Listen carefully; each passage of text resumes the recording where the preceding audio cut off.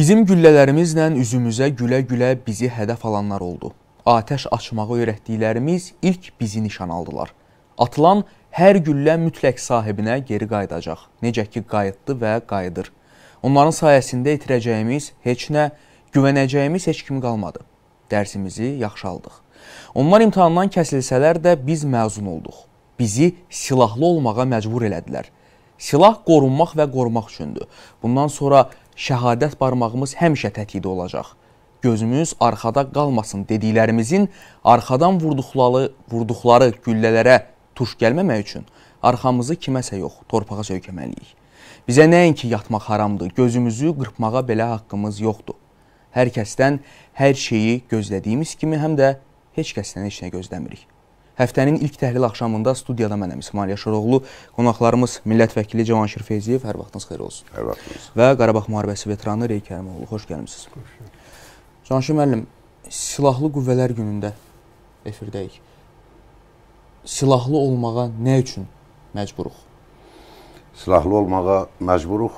Məncə bütün sülhsevər xalqlar silahlı olmağa məcburdur. Çünki e, əgər belə bir deyim var ki, əgər sülh istəyirsənsə savaşa hazır ol. Və o baxımdan biz də sülhpərvər xalqıq. Tarixən həmişə sülh istəmişik, sülh yaratmağa çalışmışıq və ona görə həmişə əlimiz siz dediyiniz kimi şəhadət barmağımız tətikdə olmalıdır. Və bu yaxın tariximiz də bunu göstərdi.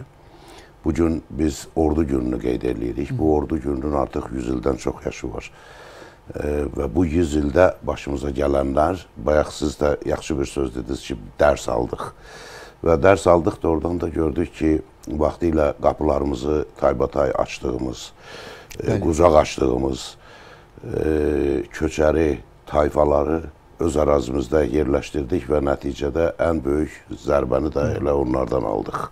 Əlbəttə, aydındır ki, söhbət e, Cənubi Qafqaza 200 il bundan qabaq köçürülmüş ermənilərdən gedir və bu gün artıq bugünkü yaş nəsli, bu gün Azərbaycanda yaşayan bütün uşaqdan böyüyə bütün insanlar bu tarixin nədən ibarət olduğunu bilir.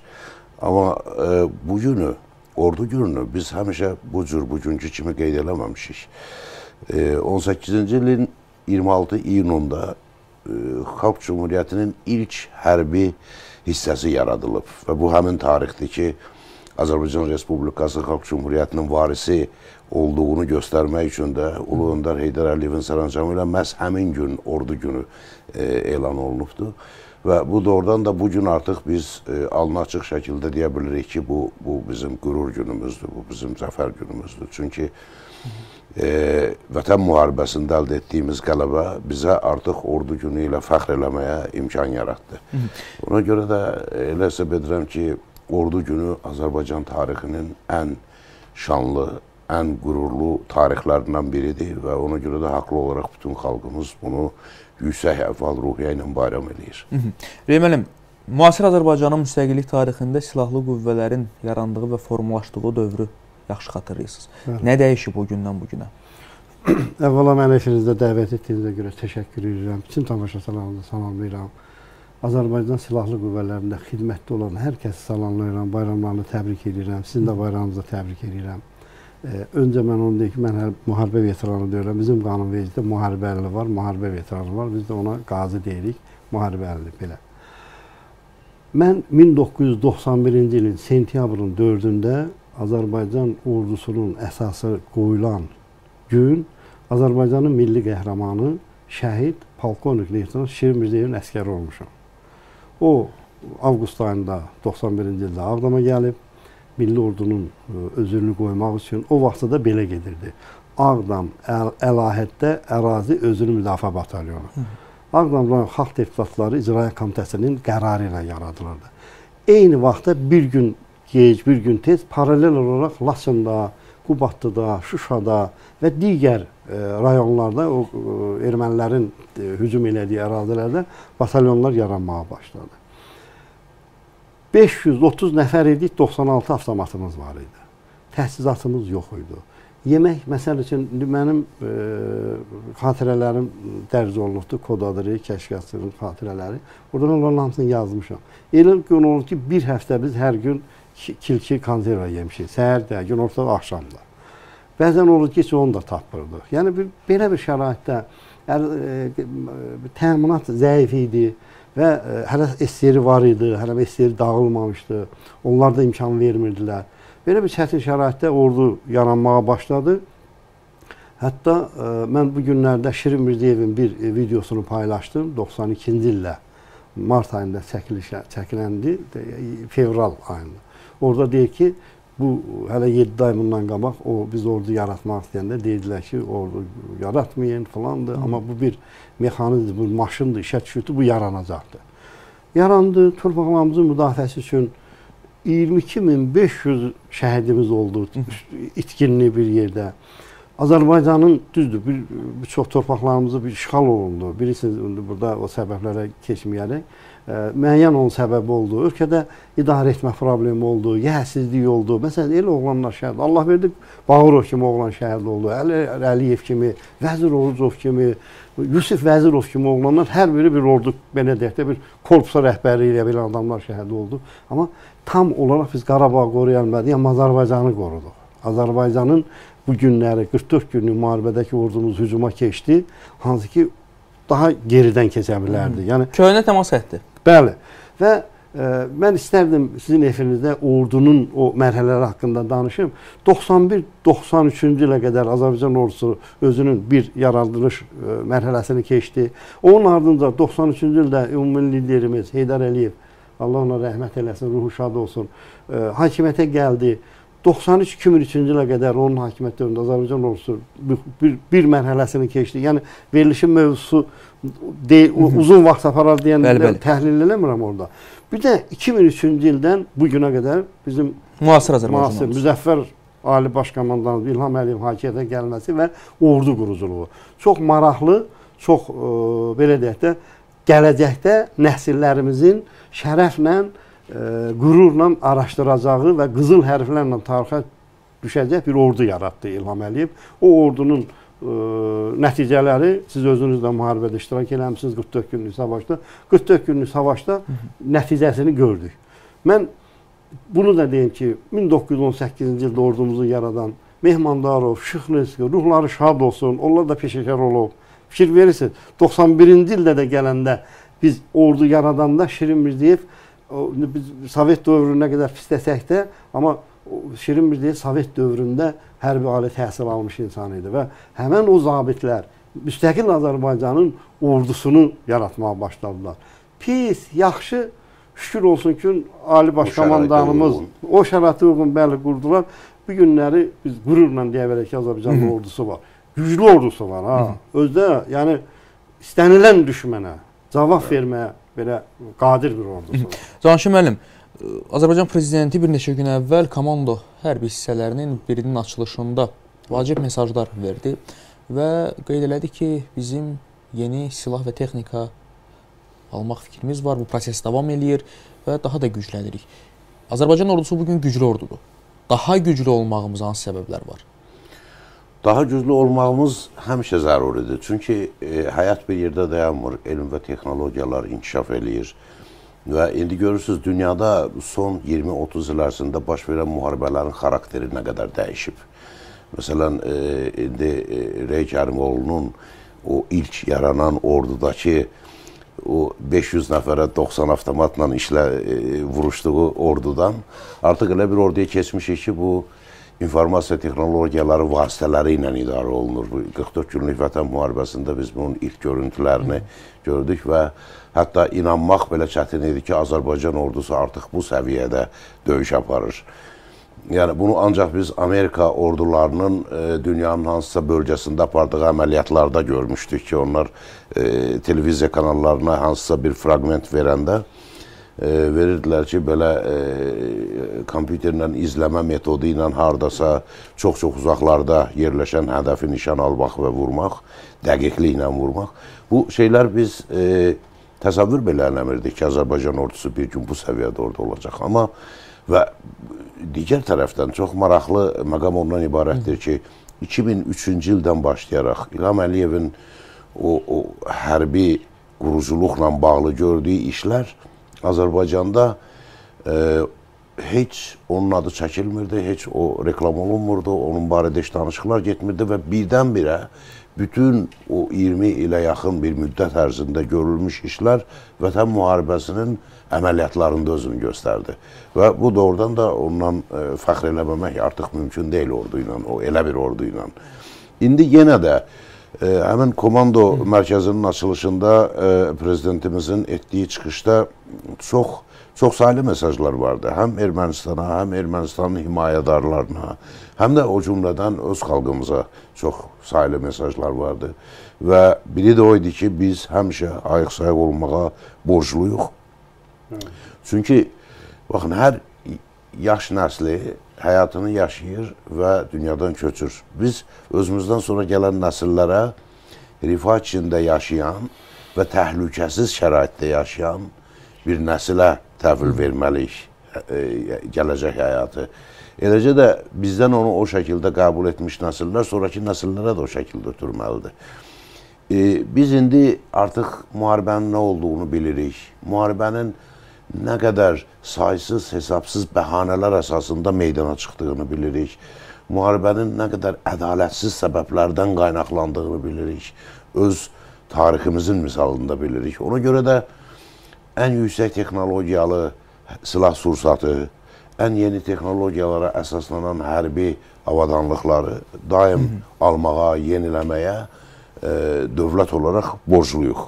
Və e, Azərbaycan prezidenti, bütün prezidentlər prezident seçilərkən öz xalqına and içir ki, mən xalqımın təhlükəsizliyini təmin etməyə and içirəm. Və İlham Əliyevin bu sözü, bu komando mərkəzinin açılmasında təkrarən deməyi ki, e, mən and içmişdim və o, o and, həmin andımı yerinə yetirdim Qarabağın azad olunması ilə və doğrudan da e, bax bu hər bir şəxs üçün bir örnəkdir ki, e, 20 ilə yaxın bir müddət ərzində prezident hər bir çıxışında demiş ki, biz o torpaqlara qayıdacağıq. Hansı yollar olsun biz o torpaqlara azad edəcəyik. Və doğrudan da qayıtdıq. Amma necə qayıtdıq? Dünyanın ən müasir ordusu kimi. Çünki diplomatik səylər e, yersizdir. Biz təkcə bizim müharibədə, bizim münaqişə ilə bağlı deyil, dünyanın bütün bölgələrində baş verən münaqişələrlə bağlı araşdırmaların nəticəsi onu göstərir ki, əgər tərəflərdən biri işğalçıdırsa, aqressiv siyasət yürüdürsə, orada diplomatik səylər heç bir nəticə verə bilməz. Ən yaxşı halda bu münaqişənin dondurulmasına və uzun illər, 10 illiklər boyu e, xalqların əzab çəkməsinə səbəb olar. Necə ki, məsələn, İsrail-Fələstin e, münaqişəsi. Baxın, artıq 100 ilə yaxınlaşır ki, bu münaqişə davam edir. Və biz əgər e, bu cəsarəti, bu cürəti ortaya qoyub vətən müharibəsini eləməsəydik, bizi də elə aqibət gözləyə bilərdi. Ona görə də e, bu gün də, gələcəkdə də ordumuz daimi, daim təkmilləşəcək. Hı. Və cənab prezident də məhz bunu e, elan etdi həmin e, çıxışlarında e, ki, indiyə qədər Həli. çox saylı komando mərkəzləri yaradılıb və indən sonra da sayı qat-qat artacaq və bu gün Azərbaycan ordusu hətta 44 günlük müharibənin gedişində olduğu səviyyədən qat-qat yüksəkdir artıq. Ona görə də nəinki Ermənistan, hətta Ermənistanı gələcəkdə öz ədalətsiz iddialarında müdafiə etmək istəyən hər hansı bir qüvvə tapılarsa, biz ona da hazır olmalıyıq və hazırıq. Rəmənim, 105 illik silahlı qüvvələrin bir 30 ili sizin gözünüzün qabağında keçib təxminən. Və tez-tez biz belə bir ifadə eşidirik ki, indi döyüşmək daha asandır. 90-cı illərdə döyüşmək daha çətin idi və yaxud da əksinə. Siz necə düşünürsüz? Ümumiyyətlə müharibə çətindir, müharibə ağırdır, çox çətindir. İndi o gün mənə sual verdilər ki, bu 44 günlük müharibədə insan faktoru daha çox qabardılsın, yoxsa e, texniki e, imkanlar qabardılsın. Dedim, bunu ayırmaq olmaz, bərabər. Nə qədər müasir texnikan olsun, əskərin ora varmışsa, o yüksəkliyə getmişsə, bizim əskər Şuşaya çıxmayana qədər oranı vurdaq, xeyri yoxdur. Orada getmək əskər lazımdır. Əskərdə də ürək lazımdır, təpər lazımdır. Sən peşəkarlıq lazımdır. Bunlar ikisi bir-biri ilə bağlı bir şeylərdir. Mən bir haşiyə çıxım, İsmail müəllim. Buyurun. bizim döyüş yoldaşımız var Şamil Əbilov. Mən e, Qarabağ Qazilər İctimai Birliyinin idarəyyətinin üzvüyəm. Bizim idarəyyətin üzvü Nağdan filialının sədridir. O deyir ki 94-cü ildə bilirsiniz də Ümumilli Deniz hakimiyyətə gəlindən sonra e, ordu quruculuğu yeni Bəli. mərhələ başladı və 93-cü dekabrından 94-cü ilin may ayına qədər bir döyüşlər oldu. Deyir bir günləri deyir erməni o Ağdamı 43 kəndinə gəlib dirənib döyüşlər, çox qanlı döyüşlər gedib. Savaşır müəllim bir şey də deyim ki, hələ indiyənə qədər Azərbaycan mətbuatı, Azərbaycan cəmiyyəti o 4-5 ayda Tərtər, Ağdam, Ağdam istiqamətində gedən döyüşlər təfsilatı ilə çəkilməyib yazılmayıb. Qan su yerinə gedir. Deyir gecə səngər qazırıq Ağdamın o işğalda olmayan kəndləri boyu. Deyir gəldim ki, bir əskər e, Lapatkaya söykənib belə halsız durub. Deyir gəldim dedi ki, əskər nə qarsan sən? Düşmən səhər hücuma hazırlaşır. Azərbaycan bizə arxa indi. Sən niyə görün taqətsiz Deyir əskər körəldi, deyir dedi ki, komandir, mənə bir qarın yemək verin. Səhərə qədər qalacam akopu. Deyir elə bil məni tok vurdu. Yəni yemək yox idi, başa düşürsünüz. O vaxt çox ağır vaxt idi. Deyir ha- haray saldım orada deyir dostlara o kəndlərdə nə bilim Ağdamın o Şoğlan, Xındırstan, Qaradağlı, Mahal hamısına deyir hay saldıq. Deyir gecə ikən deyir arvadlar təndir qaladılar, çörək bişirdilər, biri toyuğunu, biri quzusunu, nə nə var gətirdik. Torpaq elə qorundu. O vaxtı bax belə erməni həmin vaxtı bir erməni baş leytenant orada kəşfiyyat əsir düşüb bizə. Onun dibindən xəritə çıxıb kürə qədər. Əl bayramından tutmuş, ucu ayna qədər. Deyir ki, bizim qarşımız o Heydər Əliyev gəlməsəydi, bu işlər bir balaca siyasət, nizam olmasaydı, deyir, bizim məqsədimiz ora qədər getmək idi. Yəni biz bunları görmüşük və bu günləri də bizim ordumuz elə bir həddə gəlib çıxıb ki, e, o sual ki verdiniz ha, bu e, o vaxt çətin idi, bu vaxt çətin idi. Hamısı çətindir, hamısı candır, hamısında can gedir. Sadəcə olaraq biraz bilirsən bir var ki 530 əskərik, 96 avtomatımız var. Döyüşə gedirsən kimsə şəhid olur, yaralanır, onun avtomatını göstərir. Amma burada hər şey var idi. Mən özüm e, belə deyək də cənub istiqamətdə toplanışdaydıq. Döyüş hazırlığı üzrə idi. Orada mən nələr gördüm. Xalq hər şeydə var idi. Hər şeydə var idi. Xalq, ordu, təminat və əskərin ruhu, əskərin döyüşmə həyəti. Bu 30 ilin, bu İlham Əliyev hakimiyyət dövründə İlham Əliyevin aylarla təhlil eləmək olar. Bu davranışı, gördüyü işlər. Siz fikir verdiniz Azərbaycanın enerji, o stansiyalar açılırdı, hamısı fikirləşirdi. Hər hərbi hissələr tikirirdi ora yaxın. Ta taksi ilə gedib gəlirdi, deyirdilər ki, bu nə edir ki burada? Bu hamısı planlaşdırılırdı. Və bu işləri gətirdi o həddə çatdırdı ki, psixoloji cəhətdən Azərbaycan xalqı hamısı ayaq üstündə idi. Və bu qələbənin ən vacib şərtləndirən məqamlardandır. Bir dənə də epizodu deyim. Buyurun. Bütün istiqamətlər üzrə indi biz birinci müharibədə iştirak eləmişik, yaralamışıq. Bizim hərbi həkimlərimiz vardı. Hamısı könüllü getdilər cəbhəyə. Onlar indi gəlib söhbət edirlər. Deyirəm ki, doktorlardan söhbət edir. Deyirəm ki, o vaxtı məsələn adicə biz hospitalda yatanda travmatologiyada levomak olmaz nədir? Desədə onun qiyməti qəpikdir məsəl üçün bu günləri 1 manat, 2 manat. Adicə bizim yaramıza vurmaq levomak olmaz tapa bilmirdi. Xahiş edib Türkiyədən gətir. Doktorlar deyir ki, deyir, bilirsən, Adicə o qol qırıq şeylər ki var, xüsusi dəmirlər qola vurulur ki, tikiş vurur ki, o sümük bərpa olunsun da, şey, gips qoyulması, digər avadanlar. Hətta bizim İmran doktor var. Deyir ki, nə deyirdik var idi. Birini deyirdik, beşin gətirirdi. Bu günlər sizin efirdən ilk dəfə deyirəm. Bilirsiniz o təminatın arxasında kim dururdu? Birinci xanımımız ölkənin vitse-prezidenti, birinci vitse-prezidenti Mehriban xanım. Bir dənə deyir, anlatır, deyir, bir dənə bir tibbi bir şey deyirdi ki, həkimlikdə filan şey, beşi gəlirdi. Beşin deyirdi, onu gəlirdi. Yəni bu müharibədə İlham Əliyev Ali Başkomandan kimi, Müzəffər Ali Başkomandan kimi həm də Mehriban xanım da burada öz sahəsində çox böyük işlər gördü. Bunu deməmək mailə gəl ki, ədalətsizlik olardı. Çünki bunu biz bilirik, xalq bilmir, demək lazımdır. Bir neçə gün əvvəl komando hərbi hissəsinin açılışında Azərbaycan prezidenti mühüm mesajlar verdi. Xüsusilə Azərbaycan ordusunu, silahlı qüvvələrimizin yeni silah-sursatla təminatı ilə bağlı. Gəlin dinləyək. Vətən müharibəsindən sonra yeni silahların alınması prosesi davam edir və artıq bir çox kontraktlar imzalanmışdır. Həm yeni pilotsuz uçuş aparatlarının ölkəmizə gətirilməsi, uzaq mənzilli raketlərin ölkəmizə gətirilməsi, o raketlər ki, böyük dağıdıcı qüvvəyə və yüksək dəqiqliyə malikdir. Müdafiə Nazirliyinin strukturunun təkmilləşdirilməsi prosesi gedir və bu proses davam edir. Hərbi təhsillə bağlı qəbul edilmiş qərarlar əminəm ki, yaxın gələcəkdə öz bəhrəsini verəcəkdir.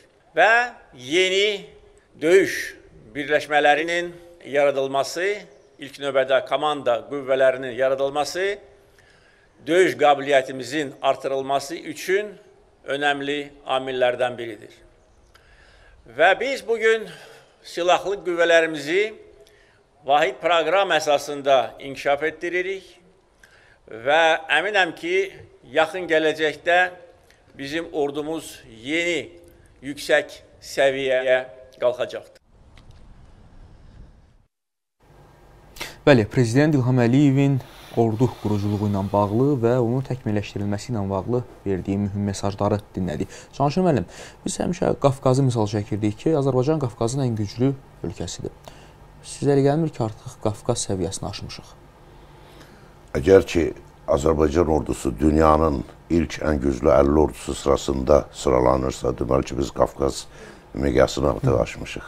Amma bu son deyil əlbəttə. Çünki bayaq dediyimiz kimi e, e, texnologiyaların inkişafı bizə imkan verir ki, e, biz həmişə dünyada ən müasir avadanlıqlar, ən müasir hərbi elm nədən ibarətdirsə, onu öz ordumuzda tətbiq edək. E, bəlkə bir gün elə bir zaman gələcək ki, heç insanlar vuruşmayacaq, kiborqlar vuruşacaq. Yəni bu da nəzəri cəhətdən bu da mümkündür. Bəli, ona görə də Amma biz arzu eləyərdik ki, ümumiyyətlə elə bir gün gəlsin ki, insanlar vuruşmaq anlayışını unutsunlar. Bəli, bəli. Çünki mən elə e, təsəvvür edirəm ki, indi bilmirəm neçə il deyə bilərik, 50 ilmi, 100 ilmi sonra yaşayacaq insanlar bu hadisələri oxuyanda, bu hadisələri öyrənəndə bəlkə də bizə istehza və rişqantla baxacaqlar ki, bu insan cəmiyyəti niyə bir-birini qırırmış. Çünki baxın, yer kürəsində artıq bütün insanlar o inkişaf səviyyəsindən, o şuurun elə bir inkişaf səviyyəsinə gəlib çatıblar ki, insanlar dərk edir ki, həyat çox gözəldir. Kasıb da yaşasan gözəldir, varlı da yaşasan gözəldir. Həyatın hamı üçün bir gözəlliyi var. Bu həyatı niyə insanları bir-birini öldürməyə gətirib çıxartması, bax bu çox böyük bir fəlsəfi sualdır. Niyə? Bəzən də məcbur qalır. Niyə, və nə üçün? Hansısa əgər insan yer kürəsində istədiyi əraziyə, istədiyi bölgəyə rahat, təhlükəsiz gedib gələ bilirsə, niyə torpaq davası gedir? Niyə sərhəd davası gedir?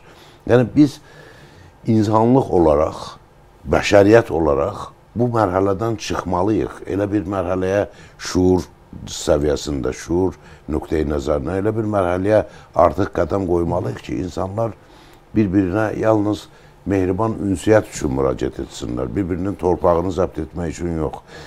Təəssüf ki, Sizcə bizim, qonşularımız bunu başa düşür? Təəssüf ki, bizim e, bəxtimiz belə gətirib ki, elə qonşu ki, elə bir, dediyiniz o bəşəri elə bir milləti bizə qonşu ediblər ki, biz indi onları öz düşüncələrimizə uyğun, gələcək haqqında öz baxışlarımıza uyğun həm də inkişaf etdirməyə məcburuq. Onların bir yolu var. Bayaq İsmail müəllim veriliş başlayanda dedi, bu güc, sülh. Məsələn, güc olmasa, erməni mən Sovet dövründə də görmüşəm, əskərlikdə də, mülki həyatda da, indi də müharibədə. Bunlar yumruq görməsələr, yəni nizama gələn millət deyirlər. Mən bir şeydə haşiyə çıxım, bizim bir Arzu Qaziyeva var, jurnalist. Onlar bir film hazırlayırdılar xaricilərlə, məni də çəkdilər, dəvət elədilər. O burada mənə rejissor sual verdi ki, ki müharibəyə necə oldu müharibəyə getdi? Fikirləşdim, mən müharibəyə getmədim ki. Müharibə bizim evimizə gəldi. Bizim yaşadığımız evimizə gəldi. Başa düşürsünüz? Çox Livandan, maraqlı ifadədir. Doğru deyildi. Bu Livandan, Suriyadan, Fransadan, Amerikadan, saqqallılar, bayaviklər, nə bilim, bu Melkonyanlar gəldilər, başladılar bizim kəndləri yandıma. Biz də əvvəlcə ov tüfəngi ilə, sonra da yavaş-yavaş ordu quruldu. Kəndlərimizi müdafiə etməyə başladıq. Həqiqət budur. Valla həqiqət budur. Bir bizim batalyonda bax Şirin Mirdiyev hərbisi idi, bir 5-10 hərbisi var. Qalanı müəllim, qəbir daşı düzəldən, nə bilim bir qadir, nə bilim dərzi, müxtəlif peşələrin peşə sahibləri. Və biz hər çara getmədik. Biz öz kəndlərimizi qoruduq, rayonumuzu qorumağa çalışdıq. Belə belə bir replika kimi bunu dedi ki, yəni Allah Bəli. yəni bizə psixoloji nəsib edib. Türkiyə-Azərbaycan birgə pilotsuz uçuş aparatları istehsal eləyəcək. Bu ilə bağlı Müdafiə naziri Zakir Həsənov məlumat verdi. E, Pilotsuz uçuş aparatlarının müasir hərb sənayesindəki rolunu biz 44 günlük Vətən müharibəsində və dünyanın müxtəlif yerlərində hərbi əməliyyatlar zamanı gördük. Bu gün. Bəli, bəli. Hazırda Ukraynada da, Rusiya-Ukrayna müharibəsində də bu nümunənin bir şahidi olduq. Azərbaycanla Türkiyənin bu istiqamətdə birlikdə əməkdaşlıq etməsi Azərbaycana qazandıracaq ki, bilirik ki, Türkiyə artıq bu sahədə özünü doğrultmuş bir ölkədir. Bu sahədə baş verən yeniliklər və Türkiyənin bu sahədə əldə etdiyi nailiyyətlər doğrudan da təkcə Azərbaycana yox, bütün türk dünyası üçün çox önəmlidir, çox zəruridir. Və e, sadəcə bir müqayisə eləyək. Məsələn, e, Türkiyə Amerikanın F-35 layihəsində ilk təsisçilərdən biri idi və e, küllü miqdarda pul da ödəmişdi Türkiyə dövləti.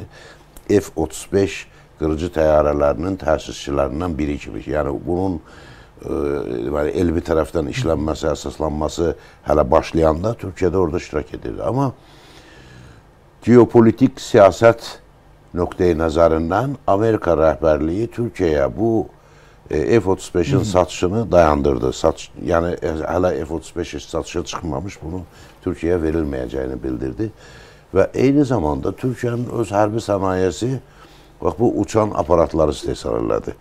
Bu o qədər yerinə və vaxtına düzgün Bayraqlar. təsadüf edən bir hadisədir ki, biz bununla da fəxr eləməliyik həmişə. İndi ilk e, Baykar tərəfindən ilk istehsal olunan uçan aparatlar, onlar hansı gücə malik e, tutaq ki, e, bombalar daşıya bilərdilər, hansı təyinatlar. əməliyyatları yerinə yetirə bilərdilər və indiki arasında qısa bir müddət ərzində çox böyük fərq var.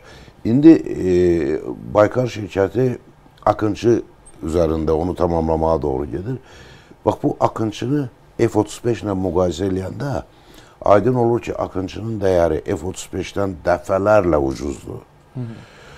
Ee, amma e, gücü F-35-dən çoxdur ki, az deyil.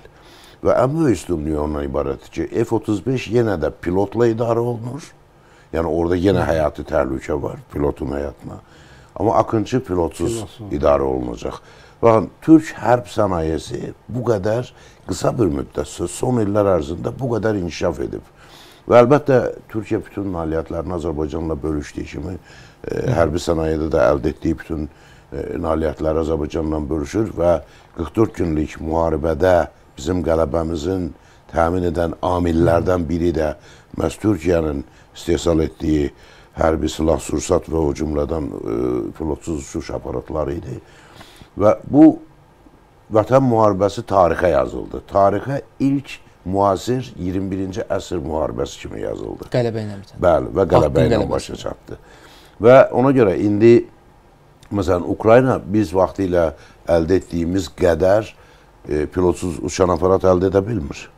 Bunun həm istehsalına zaman lazımdır, həm burada siyasi e, yanaşmalar e, fərqlidir və o baxımdan Türkiyənin əldə etdiyi bu sahədə, hərbi sənayedə əldə etdiyi bütün nailiyyətlər elə bizim nailiyyətlərimizdir, eləcə də digər türk xalqlarının nailiyyətidir və gələcəkdə də belə olacaq. Türkiyənin hərb sənaye modelinin Azərbaycanda tətbiqi ordumuz üçün nə qədər önəmlidir bu gün? Çox vacibdir. Bilirsiniz, biz ümumiyyətlə Az- Azərbaycan ordu sistemi, silahlı qüvvələr sistemi SSR dövründən Bəli. qalma bazı üzərindədir. Tədrisi də falan hamısı elədir. Təbii ki, Türkiyə NATO-nun aparıcı ölkədir. Bəli. Və ə, cənab prezident də orada dedi, həm təhsil, tədris, həm ordunun özünün strukturunda yavaş-yavaş biz dəyişikliklər görürük. Türkiyə Nə nəzərdə tutulur struktur dəyişikliyi dedikdə sizcə? Türkiyə sisteminə keçiriləcəkdə bizdə məsəl üçün ordu strukturu daha çox Sovet dövründə qalan Müdafiə Nazirliyi, məsəl üçün fikir versə Türkiyədə daha çox baş qərargah rəisi və ə, NATO sisteminə keçiriləcəkdir və o sistemdə e, belə deyək də həm də peşəkar ordu yaradılmasına. Siz bu gün o komandalar Ondan sonra bizim xüsusi təyinatlı qüvvələr bilirsiniz 44 günlük müharibədə də 2016-cı il döyüşlərində də 2014-15-ci il ə, Əməliyyatlarda belə. əməliyyatlarda da özlərini çox yüksək səviyyədə göstərdi. Tək bu müdafiə nazirinin yox, həm indi artıq şükür Allaha sərhəd qoşunlarında və digər ə, bizim Hə, bütün silahlı qüvvələr. qüvvələrdə özünə məxsus xüsusi təyinatlar var. Yəni daha çox ə, keyfiyyət üzərində cəmləşəcəkdir, ə, modernləşəcəkdir. Məsəl üçün indi belə deyək, indi müasir ə, belə deyək də bu da o gedib su 27, nə bilim ə, nə bilim nə təyyarələrinə verməyə ehtiyac yoxdur. Bayraqları var, akıncılar gəlir. Bax bu məsələlər ə, vacibdir də. Burada bu məsələlər var. Ona görə o sistemə keçəcək. Həm də Türkiyə ordusu sistemində bir var ki, texniki, e, tədris, təhsil, bir də var bir yanaşma. Xalqın yanaşması və ordunun özünün, əskərin, zabitin özünün mövcudluğu, onun mənəvi, psixoloji tərəfi Türk ordusunda bu çox möhtəşəmdir. Birincisi yəni zabit Bəli, bəli, psixoloji vəziyyət. Yəni çox yüksəkdir və siz hiss edirsinizmi ki, bizim Azərbaycanda da bu xüsusilə bu 2015-16-cı il döyüşlərindən və xüsusilə 44 İdeoloji iş sürətlə inkişaf Elə etdirildi. inkişaf edir ki, bu günlər harda əskər görür bir hörmət, bir ə, izzət və bax bu məsələlər də var ki, yəni əskər zabit qüruru, şərəfi onun ə, dövlətin əsas strukturlarından biridir. Əsas strukturlarından biridir və bu daim güclü olmalıdır. İsmail müəllim, İlham Əliyevin bir ali baş komandan kimi, prezident kimi həm də bir siyasi böyük bir siyasət adamıdır dünyada. Onun mən e, inandırım sizi ki, mən şərhçilərin hadisələrlə bağlı falanla bağlı baxmayaraq ki, mətbuatçısıyam mən də çox nadir hallarda oxuram. Mən onun çıxışlarına baxıram, oradan özümün mən hesabımı götürürəm ki, nə olacaq? Hətta mən zamanını da təxminən bilirəm ki, hansı zaman nə olacaqdır. Çünki o qədər dəqiq, Net, lakanik. net deyir və həll eləyir. E, Bir erməninin bir çıxışı vardı bu yaxınlarda deyir ki, İlham Əliyev e, ki, Zəngəzur deyir, İrəvan deyir, bu da olacaq deyir. O biri apardı deyir ki, yox olmaz, inanmıram. Deyir, niyə də inanmırsan? O nə deyir, onu da eləyir.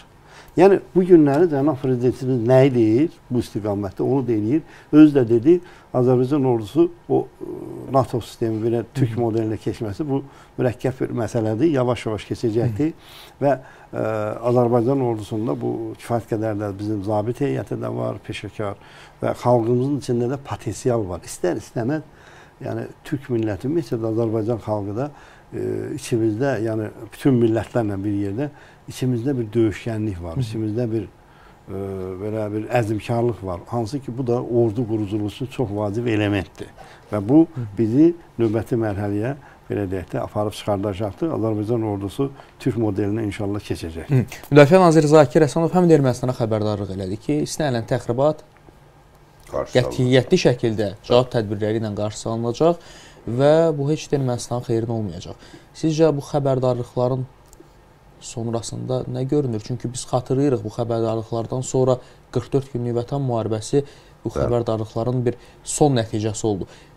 Yenidən hansısa bir hərbi əməliyyatlar və yaxud da ki, cavab tədbirləri, geniş miqyaslı cavab tədbirləri sizcə görünür yoxsa yox? İndiki reallıqda. Qətiyyən yeni yaranmış reallıq şəraitində ermənilər də başa düşür ki, onların hansısa bir revanş addımları atmaq imkanları yoxdur. Birincisi ordu yoxdur özü özürlüyündə. Hansısa bir neçə hərbi hissə varsa, o da indi elə siz müzakirə etdiyiniz köhnə sistemə əsaslanan ordu birləşmələridir. Biz bu fərqi, e, mən də həmin suala bir balaca əlavə eləmək istəyirəm. Biz bu fərqi bax hal-hazırda Ukrayna ilə Rusiya nümunəsində görə bilərik. Bəli. Sən son 8 ildə Ukrayna ordusu NATO təlimatçıları tərəfindən e, təlimləndirilmiş ordudur və onların döyüş taktikası da tamamilə başqadır. Rusiya ordusu isə ənənəvi, kütləvi hücum, kütləvi şəkildə əskərlərdən istifadə olunması metodu ilə e, müharibə aparmaq istəyir. Bu 2-ci Dünya müharibəsində Kutuzovun rəhbərliyi ilə məsələn bir e, çayı keçmək üçün Bəli, birinci onu deyəcəm. o tank 500 min əskəri qurban verməyi deməkdir. 500 min əskər qurban müəllim verildi. deyirdi ki, tank bahadır. Bəli, insan- bəli. Hə, əskərlərin hesabına 500 min, yarım milyon əskəri qurban verərək bir çayı keçirdi qoş, qoşunları.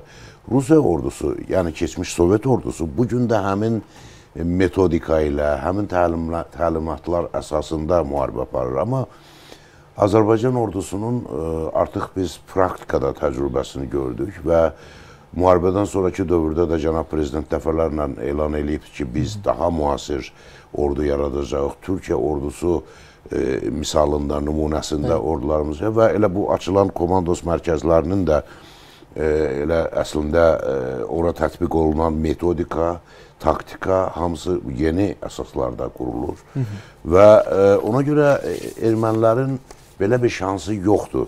Baxmayaraq ki, düzdür, ara-sıra sərhəd bölgələrində e, təxribatlar baş verir, amma bu təxribatların baş verməsi heç də o demək deyil ki, erməni ordusu fikirləşir ki, o Azərbaycan ordusuna qarşı hansısa bir hərəkətə keçə bilər. Oradakı təxribatlar daha çox daxili siyasi mübarizənin nəticəsi kimi ortaya çıxıb çıxa bilir. Çünki oradakı e, siyasi müxalifət hal-hazırda Paşinyanı devirmək üçün istənilən fürsətdən istifadə eləməyə yararlanır. Odur ki, e, Azərbaycanı təxribata cəl cəlb etmək və yeni bir itkiyə məruz qoymaq öz ölkəsini Hı -hı. Və nəticədə Paşinyanın devrilməsini təmin etmək. Onların yanaşması məncə budur. Amma Ə, əlbəttə Azərbaycan siyasi rəhbərliyi bütün hadisələri diqqətlə izləyir və lazımı yerdə, lazımı ölçüdə cavablarını verir. Və ə, vaxtaşırı istər sərhəd bölgəsində olsun, istər ermənilərin kompakt şəkildə yaşadığı ərazidə olsun, baş verən təxribatların da cavabı məhz belə verilib. Amma əsas məsələ nə idi? Laçın yolunda Azərbaycanın sərhəd buraxılış məntəqəsinin qoyulması Mən elə hesab edirəm ki, müharibə ancaq o vaxtı bitdi. Baxmayaraq ki, müharibənin bitdiyi elan olunmuşdu. Amma o zaman ki, Azərbaycan bütün sərhədlərini özü nəzarət eləyir. Milli ordumuz tərəfindən, sərhəd qoşulları tərəfindən Hı. nəzarət altına alındı. Bax, o zaman biz artıq rahat olduq ki, müharibə başa çatdı doğrudan da. Və indən sonraki müharibənin o uğurlarına bərabər bir bəli, bəli, bəli, bəli, bəli, çox düz deyirsiniz. Və ona görə indən sonra hər hansı bir təşəbbüs, yəni Azərbaycana qarşı irəli sürülən iddia təşəbbüs mütləq məhvə məhkumdur. Müsahibəyə vaxt ayırdığınız üçün və studiyamıza gəldiyiniz üçün hər birinizə təşəkkür edirəm. Bəli, həftənin ilk təhlil axşamında silahlı qüvvələr günündən danışdıq. Ən yumşaq silah, elə ən güclü silah da sözdür. Sözünüzü və özünüzü qoruyun. Salamat qalın.